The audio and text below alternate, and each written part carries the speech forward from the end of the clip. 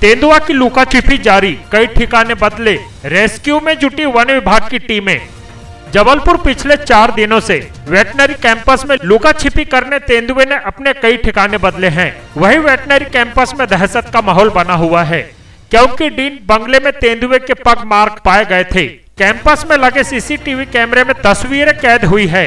Rescue team के patrolling के साथ ही पिंजरे और ट्रैप कैमरे लगाकर तेंदुए को लोकेट करने में जुटी हुई है। बता दें कि डुमना, बरगी और बरेला के जंगलों में काफ़ी संख्या में तेंदुए मौजूद है।